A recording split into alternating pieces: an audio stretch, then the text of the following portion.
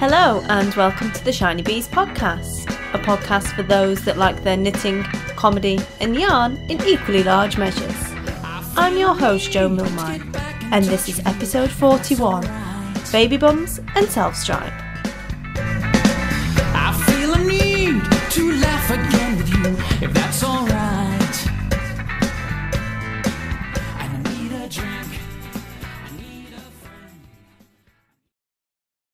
Hello, and welcome to the show. How are you all? I hope you've all been well since the last time I spoke to you. Today is Tuesday, the 7th of April.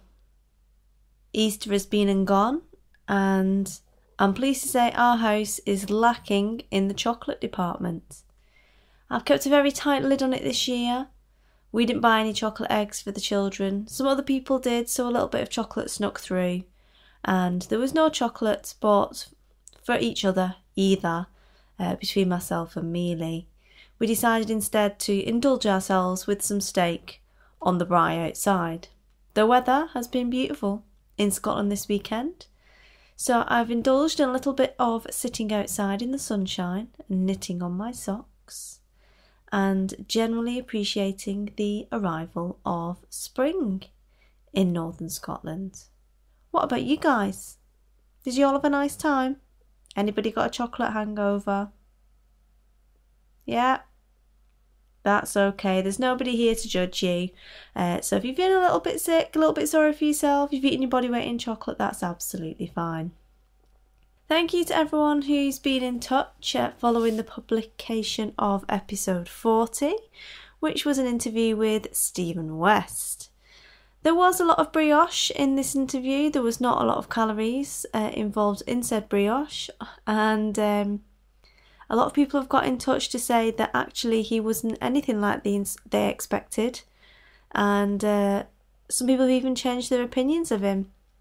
There definitely seems to be two sides to Mr. West. There's the uh, very focused, introverted knitting side, and then there's the side that likes to take the mickey out of himself a little bit. And um, I quite like both sides actually. I think he's an absolute sweetie, and um, I'm glad that uh, the interview prompted quite a lot of you to get in touch and let me know what you think. As I said last time, if there is anyone that you would like me to go and speak to in particular, then send me a message. I'm quite happy to go and ask people for interviews and to talk about all things to do with their practice and how they get on uh, in business and what their, their daily routine's like. And I'm quite happy to ask any other random questions if you have any burning ones for people that I'm I'm going to be interviewing. I'm quite happy to ask them. I don't mind uh, doing that at all. It's quite funny. And um, I have got some interviews already backed up. Another one from Edinburgh Yarn Festival, and a, uh, a few more that are, are planned to be recorded for you all. Um, because the feedback I'm getting from people is that they really enjoy those uh, the interview segments. In other news, Edinburgh Yarn Festival 2016 has been announced. I'm very excited. I did promise you a full rundown of the 2015 festivities on the podcast. However, uh, Louise at Knit British has done a very comprehensive, uh, two episode long rundown of her experience. So um, I'll probably keep the majority of it to a minimum rather than repeating and going over uh, the same things that other people have uh, mentioned. But I'm pleased to say that next year, 2016, the dates for the festival have changed and it will be the program will be starting on the Thursday, the 17th of March, and the show will be on Friday, the 18th of March, and Saturday, the 19th of March. This pleases me no end, chiefly because my birthday is the 18th of March, which means I've been green lighted to uh, have a gin soiree again with all my Ravelry chums and have a jolly lovely time for my birthday. So I'm very excited. I've already sent uh, Mealeen to work to book off the holidays for next year. And if the, the Uber tool doesn't go that long, then he's been told to instruct the guy who does the Uber tool to make it that long, such that he can book some leave and uh, I can be assured of attendance uh, at Edinburgh again. It will be in the Corn Exchange again. I'm not sure at this stage. It was only announced yesterday that it was definitely happening, so I'm not sure at this stage exactly what things um, Jo and Mica have got planned and lined up. But if I know anything about those two, um, it's that this uh, next year will be they'll take on all the learning points uh, from before and uh, and deal with all of those and bring a load of new stuff to the party as well. So I'm quite excited about that one. It's definitely on my calendar for 2016. So thinking about today's show then, we will have for you Enabler's Corner, where I will be discussing the perils of putting babies, specifically naked baby bums, on knitting patterns and uh, and give you a rundown of Tin Can Knits' latest collection. Brilliant. There'll be the return of the Wippin' Piccadilly section, which has been absent for a little while, and just to give you a rundown of what I've been knitting on and any projects that I've got my eye on. And then we will have the return of the sock surgery where we're going to be talking about self striping yarns. We're also going to have a giveaway uh, from the Knitting Swede, who is Tanja, and uh, it's the skein of her self striping yarn in the colourway Robin's Evil Twin. So, what I suggest you do is get comfy, get your knitting, and depending on where you are at this point in time, a soft drink or beverage of your choice, and we will crack on with the show.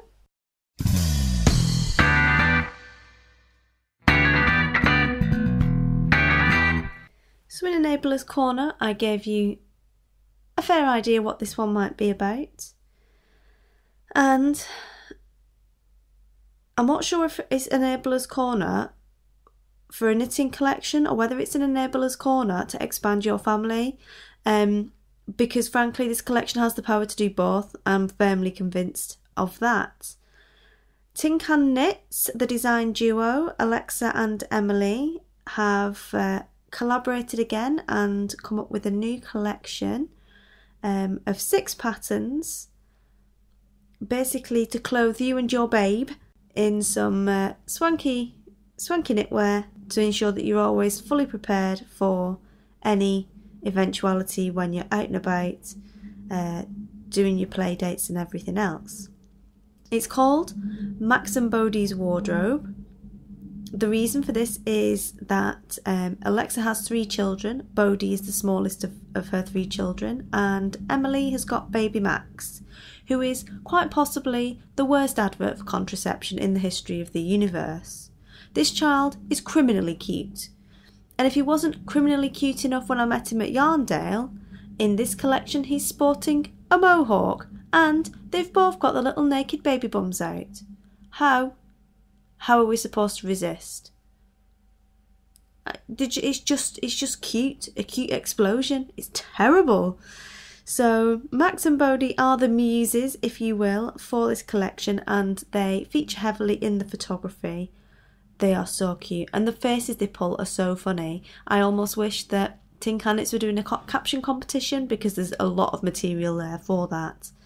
As I said, the um, collection consists of six patterns, three of which are sized up to adult size, and they're on a, a two weekly release schedule from now um, until June. The first pattern that's been released came out on the 2nd of April, and that is Playdate, which is a little cardigan. So that you and your baby can go out in your matchy matchy outfits, and uh, you've got a cardigan to throw over your outfit, and for the baby. I mean, cardigans are always really handy when you have children um, to just throw on and off over the top of uh, little romper suits and things to keep them warm, um, especially in, in spring where you're not really sure whether it's going to be hot or cold and they don't need to be bundled up in a snowsuit. But yeah, it can still be a little bit breezy for them. So that one has already been released. And to come, we still have something to keep tiny toes toasty something to keep your you and your little one snuggled up warm, something to keep baldy heads cozy, classic woolies to keep you and your darling looking smart on your play, first play date, which I assume is a play date cardigan, and something to clothe those adorable little baby butts. Honestly, it's like cocaine. Those kids, so cute. I just want to bite the little bums. It's just criminal.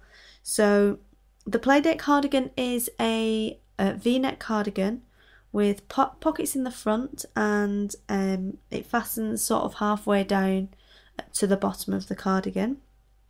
As I said, that's sized from baby all the way up to adult. And then we're left guessing at the rest of uh, the contents of the collection. I'm quite excited to see it, not quite as much as I'm excited to see the children model in the clothes, um, because they're just so cute. It, the little mohawk, he kills me. So I might cut Sammy's hair into a mohawk, uh, just so they can be matchy matchy. Um, but that is out now. The ebook is fourteen dollars and you can pre-order the print book and you get the PDF download with that for $18 plus shipping. So that is Max and Bodhi's Wardrobe by Tin Can Knits, the perfect capsule collection to dress your babes and probably expand your family.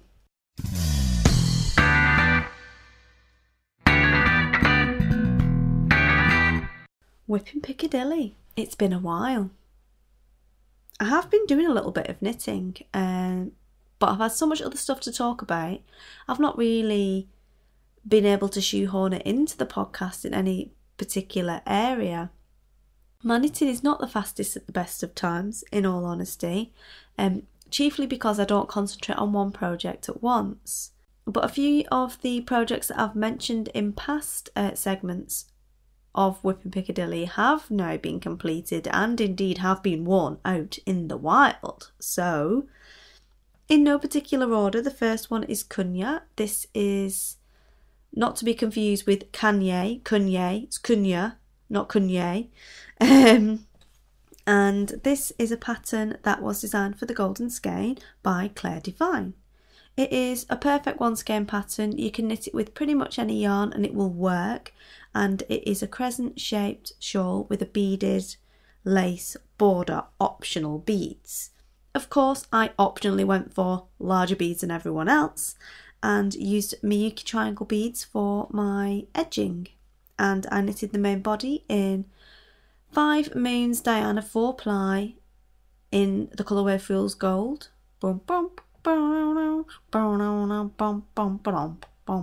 Ian Brown was not harmed in the making of the shawl. And uh, that is a 50% merino, 50% silk uh, blend in a sort of greeny gold, coppery gold colourway. It um, I finished it just as I got to pod retreat. Uh, can you can you believe I could actually still knit after what went on? And um, and I blocked it out and it was ready to go on its maiden voyage for Edinburgh Yarn Festival, which it did. I wore it on the night out on the Friday. I wore it on Saturday as well. Colour popping, rocking my Westie with my uh, sparkle and and a pop. I did not have the texture though. Didn't have texture on really, but um, I did wear it, and I really like it actually. It's um, it's really pretty. The drape on the shawl is lovely, and as I said, you can and people have knitted it in a variety of different yarns, including uh, variegated and very highly variegated yarns at that. So I can definitely see more of these in my future just because I think it's a really wearable piece. It's good fun to knit. Who doesn't love beads, frankly? And um, it's a great one skein project to really showcase um, a luxury skein of yarn. So that is Kunya by Clare Devine. It's available via Ravelry. I think it is £3.50. The next one is Quadratic by David O'Kelly. I've been knitting this forever, pretty much, considering it's a garter stitch shawl. That's pretty crazy uh, because I kept running out of yarn. It was knitted in the Golden Skein Dye for Yarn Tornado of a London colourway, and the accent colours in the project were um, Desert Vista Dye Works Fruits of Summer, which was some leftovers from a pair of socks that I've knitted. Again, that was a Golden Skein colourway dyed for us and that is complete. And um, that was the shawl that Westy was complimenting me on in the previous interview, in the previous episode. I really like the shawl, considering it's very simple. It's really um, versatile and really effective. I like that I could use up scraps to make it, although the main skin obviously wasn't scraps. Um, that the main skin was the merino camel fingering base from Dye for Yarn, which is 55% merino, 45% baby camel, and it is so soft and so lovely. It's a singles yarn, and what I like about it is a lot of uh, merino based yarns, when I wear them as a scarf around my neck or a shawl, the back of my hair, I've got very fine hair, and the back of my hair just seems to knot up from the friction between the shawl and my hair. Does anyone else have that? Is it just a thing that people with fine hair get? Um, but it gets into like massive knots, like mats, like the dogs get behind their ears. That's me, um, but behind my head, and uh, that doesn't happen with this yarn. And I don't know if it's because of the spin or because of the content of the fibre, or because it's worn a little bit more loosely. Um, but it doesn't happen. The other thing that I really like about this shawl is the pointy ends of the triangle because it's kind of like an um, a right angled triangle almost.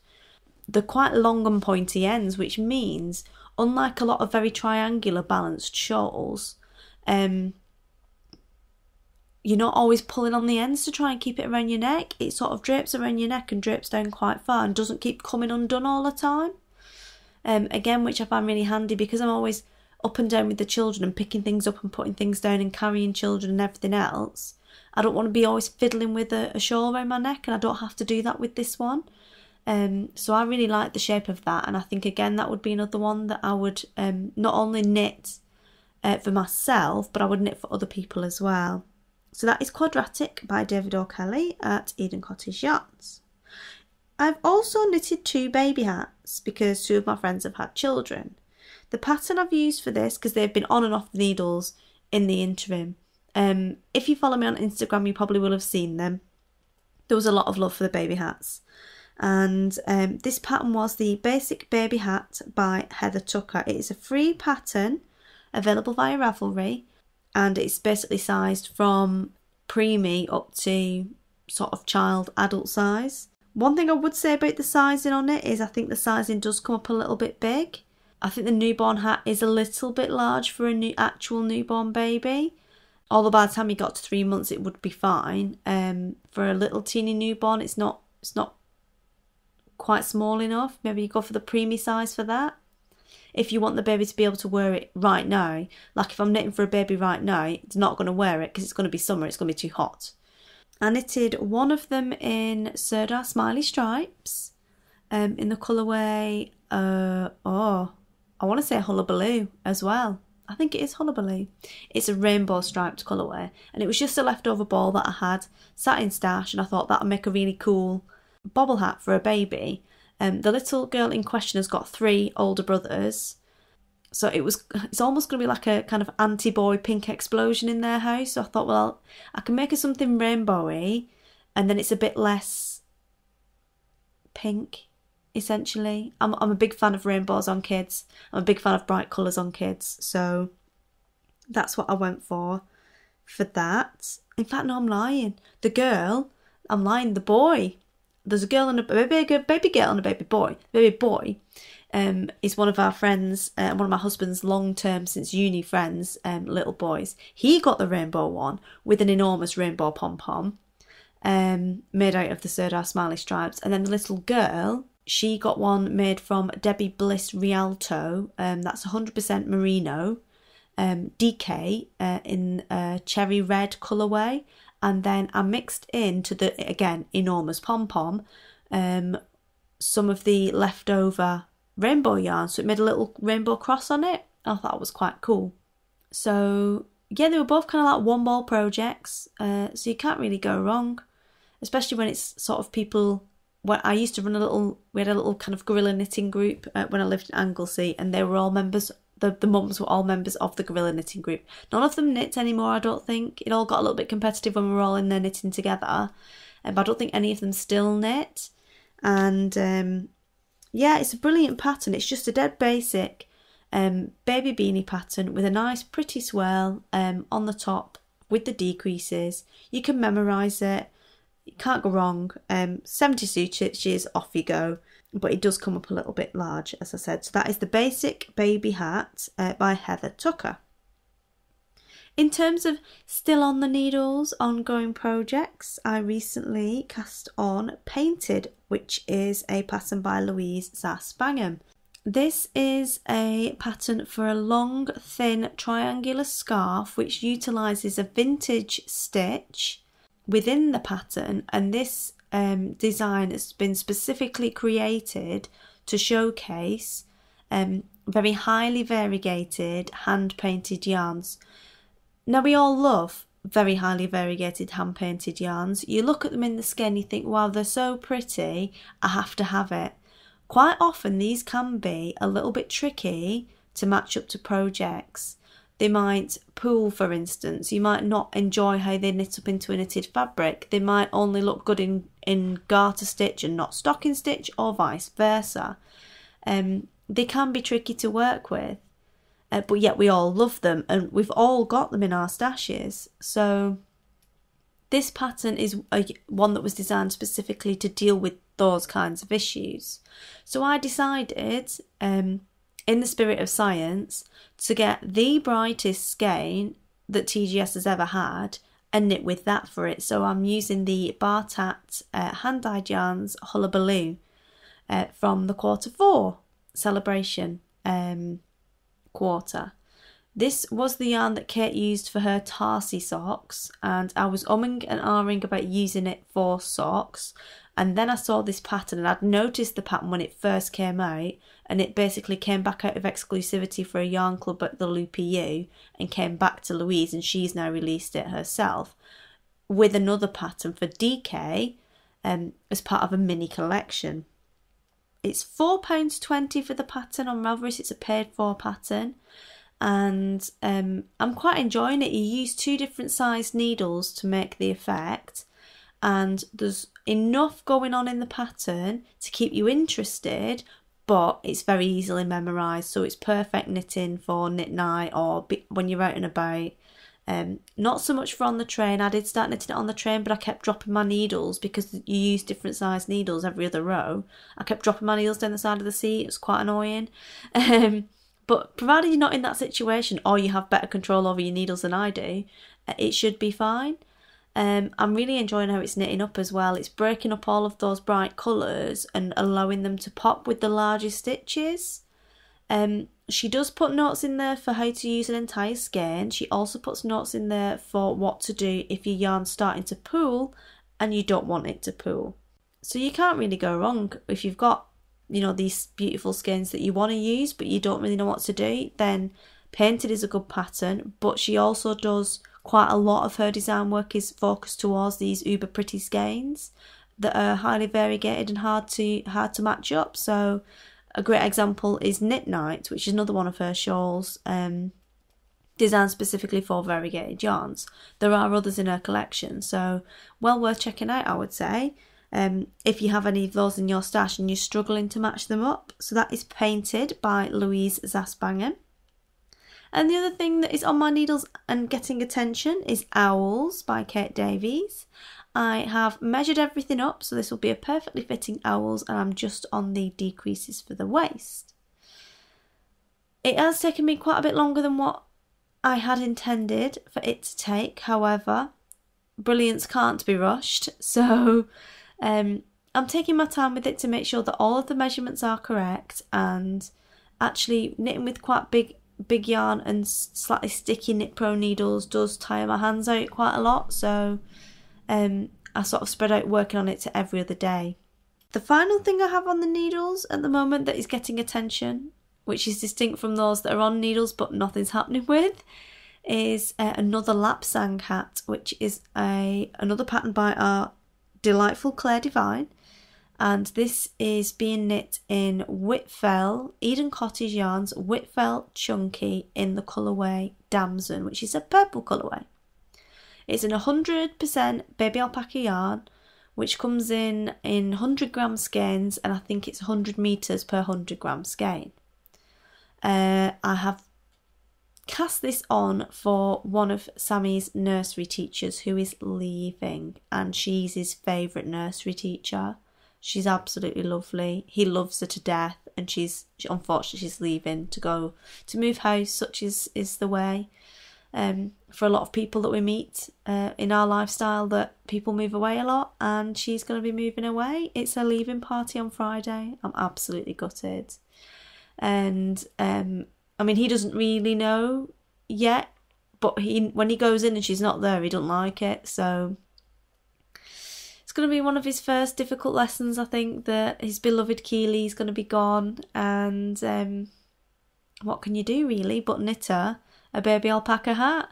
Obviously, when you work in a nursery, you're outdoors a lot. Baby alpaca is very snuggly and warm, and um, I thought she she's definitely knit worthy, so I will knit her a, a nice snuggly baby alpaca hat uh, for her to wear when she's outside with the kids. So I'm well on with that. It needs to be done by Friday. It's now Tuesday. I've got to the end of the brim, but it is a really quick pattern. I've knit it before. It knits up in a few hours and it looks really impressive for something that's not taken a lot of effort or work really.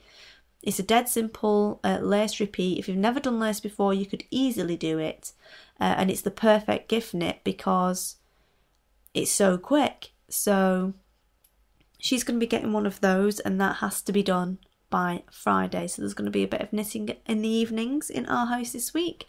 That is a Lapsang by Clare Devine, and that is part of the Tea collection, which is a collection of hats based around um, the inspiration of different teas. So that's all I've got on the needles, off the needles, wherever, anywhere near the needles that I'm touching with needles at the moment. Um, let me know what you're knitting on. Is there anything that I need to know about that I should be knitting? Get onto the group on Ravelry and let me know.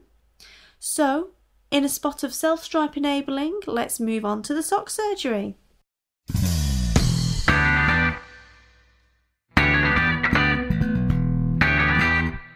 Um, super. So I've been looking forward to this uh, sock surgery segment for a while, and that is mainly because it's no secret that I have a long standing love affair with self striping yarns, probably due to a criminally short attention span on my part when it comes to knitting, so I'm delighted to welcome back Clare to the show to talk a bit about finding and using self striping yarns. Welcome back, Clare.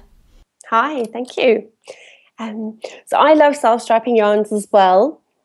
Um, surprisingly enough, one of the reasons I don't knit socks with them very often, though, is because of this aversion that I have for the afterthought heel, which we're working on. We are currently working on it.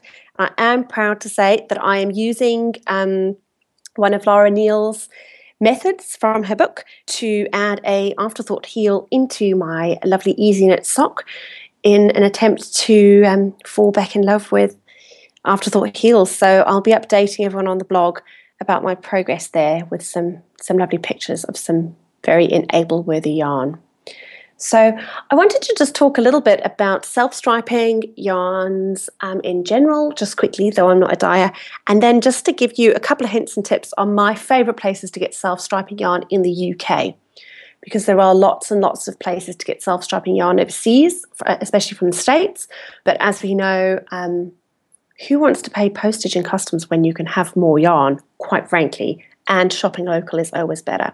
So I thought I'd do a little bit of UK enabling so um, I'm hoping to chat to a, a, wonderful lady from the Knitting Swede who has sponsored us some yarn this month about her process of putting self-striping yarns together. But even though I've heard it before, one of the things I am always surprised at is the sort of length of time it takes to put self-stripe yarn together. It's a very labor-intensive process um, and quite sort of not necessarily complex in, in terms of being very complicated, but logistically complex. Um, and I think if you think some people die in very small spaces in their kitchens or in, in reasonably small studio spaces, um, it's a little bit of a feat of logistical engineering. So the reason I say that is because self stripe yarns are often more expensive. And I think sometimes as knitters we feel a little bit, mm, you know, of a pinch in the wallet. And I definitely want to say that they are absolutely worth it. And I spoke to Tanja from the Knitting Swede a little while ago, and it really reminded me of why they're worth the extra money. So um, do bear in mind that if you see self stripe and they are more expensive, that they are more labour intensive and definitely worth it because, as Jo said, they are super scrummy. So I've got four great um, yarn shops for self stripe. And if you want to see some of the the gorgeous goodies, you can either pop to their shops, and Jo will have the links in the um, show notes, or you can pop over to my blog where I'm going to have lots and lots of pictures of self stripe yarn, as if you needed any more enabling.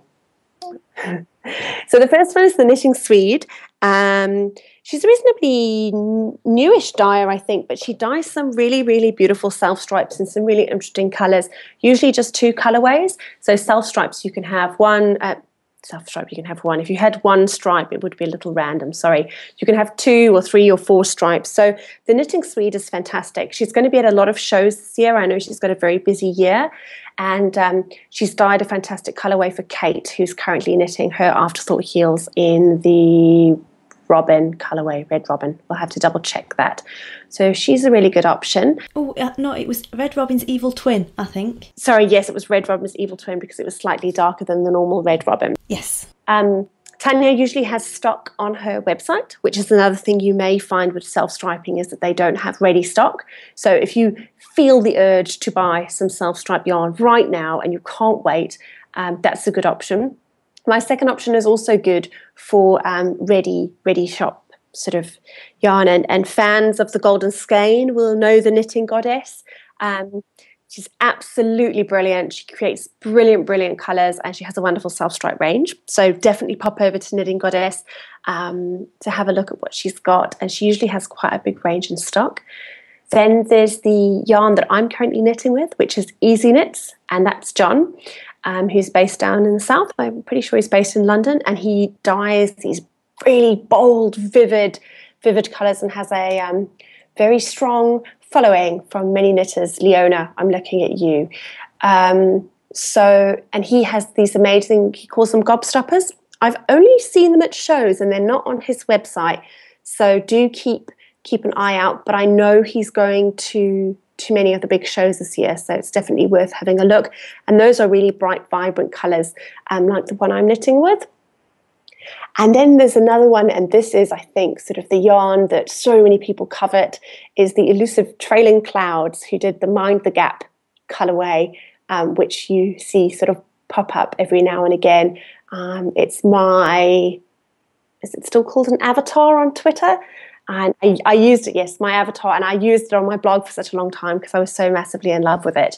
So um, that's Trailing Clouds, and she does an update every week, I believe, and she does these beautiful um, multi stripes. So she does Mind the Gap, which I think is nine tube lines or 10 tube lines of the London Underground. So it's exactly like the London Underground map. So um, those are my four favourite indie dyers doing self stripe in the UK. Um, there are some great indie dyers further afield. And, and if you are listening um, from, from overseas, two of my favourite are Desert Vista Dyeworks, who does some self stripes and has done some stuff for the Golden Skein before. Um, Twisted Limon, Limon, Limon, I'm not sure how to pronounce that. I think she's in Manchester, you know. Is she? I think so. Wait, no. I think she's just. I think she's in Manchester, but everyone in the states is massively into self stripe, so people think she's over there. I'm sure she's in Manchester. Oh, I stand. I stand corrected by my northwestern friend here um, that Manchester's not in the states. It's not. Definitely not. Oh, well, that's good news. Or maybe I've just never been able to get any from her update. I'll have to go back and, and look. I think because she's on Etsy as well. You generally assume Etsy equals US, or I do at least. Ah, and then another US spun who I always love looking at her stuff, but I've never bought any because it's so far away, is Jinx Yarns. She's based in the South. She does some great um, self stripe colorways. I'm always massively in love with them. And then if you're not looking for a indie dyer, um, if you're looking for something a little easier on the pocket, or you just want something that's commercially available, um, West Yorkshire Spinners Oh, how we love them. And I know it's technically not self stripe, but their country birds colorways are, are very sort of self stripe esque. Um, and they're great for knitting fun afterthought socks. And uh, Regia, Regia, I never know how to say that either. I should learn, really, shouldn't I? Have a brilliant, brilliant range of um, self striping yarns, and our friends at Love Knitting have an extensive selection of their yarn. So um, there's two commercial options for you. Oh, don't forget um, Schoppenwolle. Yes, they do as well. They're not, see, I didn't include them because they tend to be more sort of gradienty type yarns. Yeah, I But I suppose, I suppose they, yes, they could. If we can have West Yorkshire Spinners Country Birds, we can definitely have them. And they do very good sock yarn. Um, it's great hard wearing, lovely to knit with um, sock yarn. So And it comes ready balled. Yay. yes, the advantage. So that's my um, roundup of that. I think. Oh, super. Can I add some more of, of my personal favourites? Because I have lots. Um, in the UK, there's Fab Funky Fibres, who are based upon the east coast somewhere near Harbour Yarns, I think, either North Yorkshire or Northumberland or Cleveland way. And I think with them, you can actually choose the colours that she dyes it up into Oh, for your um, self stripe. Again, everyone thinks she's in the States, but she's not. So she's a good one. Um, in the States, there's very colourful yarnings, um, who's just dyed for the Golden Skein and was definitely sought out purely based on her self striping colourways. Um, so she's in the States, in, I want to say New Mexico. That might not be correct. I might have been watching too much Better Call Saul. Um, but I think it is. I think it is New Mexico. Um, so she does some great colourways and she does a lot based on the um, US football teams as well. So if you're into your US football and you need some matching socks without the effort of sewing in ends, then she's probably a good person to look for. Very good. Yeah, and I'll stop the enabling right there because I could go on all day about self striping yarns and the, the, the varied selection in my stash. So, thanks very much for all of your tips there for self striping yarns and where to find them, Clare. We'll put a full list of those in the show notes uh, so you're fully enabled and uh, ready to go. And I've just looked up while you were talking, and she is in Manchester. So I'm very, very sorry, Karen. I stand corrected. And uh, she's got some goodies in her shop, and I could buy them right now. hmm She does some very, very nice yarns. I, I am actually currently sitting on my hands, actually physically sitting on my hands, so that I can't click and buy while I'm recording. That's probably a good thing. I, I, I think, yeah, definitely. right. Well, thank you very much, Jo. no worries. Cheers, Clare. Bye.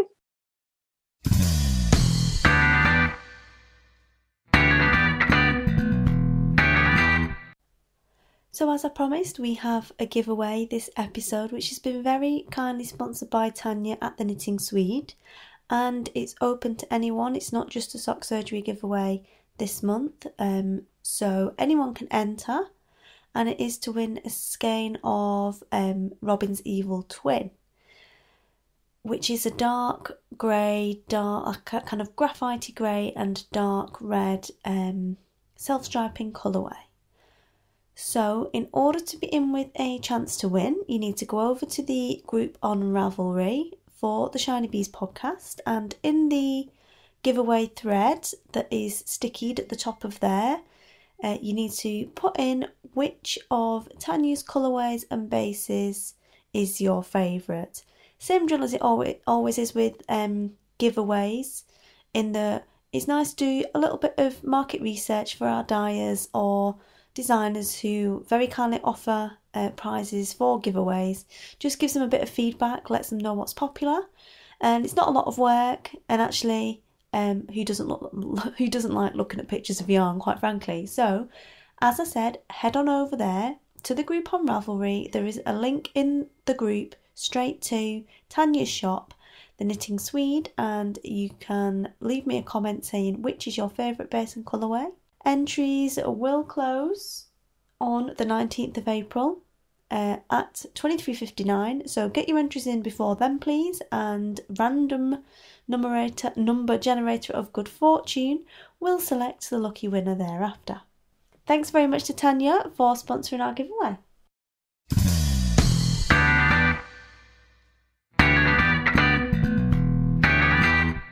So i'm afraid that's all we've got time for this week Thank you very much for listening and joining me again on the show. Look forward to speaking to you again at the weekend when I will have another interview for you. So until then, take care, happy crafting, and I'll speak to you all again soon. Bye.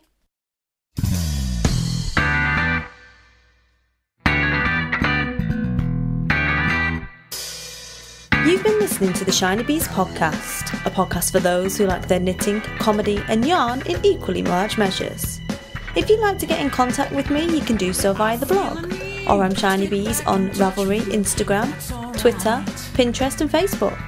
You can email me at shinybeesinfo at gmail.com. Music for this episode is provided by Music Alley and it is Adam and the Walter Boys and I Need a Drink. Need a drink.